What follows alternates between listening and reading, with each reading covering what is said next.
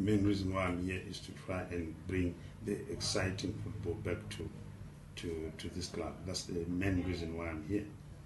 Um, but if you talk of uh, targets, there's no coach who doesn't want to win anything.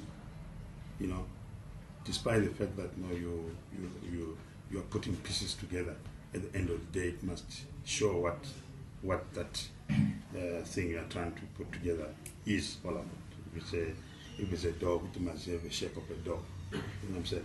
So. Um, Yes, um, as a coach, I would always want to, to I would strive to, to, to, to win whatever comes my way. But the fundamental reason why we are here is to make sure that you know, we give these youngsters who have been ignored uh, for so many years an opportunity to showcase themselves and to put structures into into into into line that you know uh, we can instead of buying players, we can produce our own players from the development side, which is the most important thing.